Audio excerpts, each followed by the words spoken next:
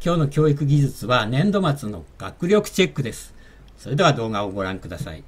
今日は今までに出てきた問題を全部混ぜて、しかもバラバラに出題してみました。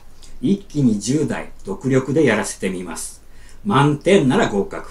ミスを許したとして9題あっていてほしいな。そんな気持ちでやらせてみました。さて結果は、10点、10点、10点、10点、10点、10点、10点、10点、10点、9点、9点、9点、9点、2名欠席。満点が9人に、1つ間違いが4人。悪くはありません。これなら大丈夫だと思いました。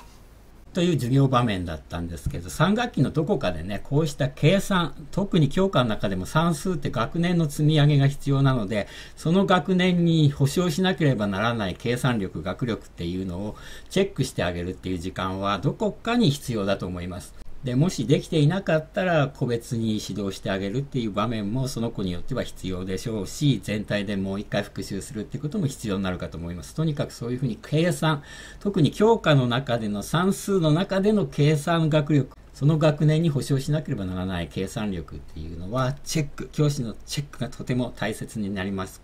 もし保護者に尋ねられても心配なんですって尋ねられてもちゃんと説明責任を果たせるように普段からやっておく必要があるかと思います。今日は以上です。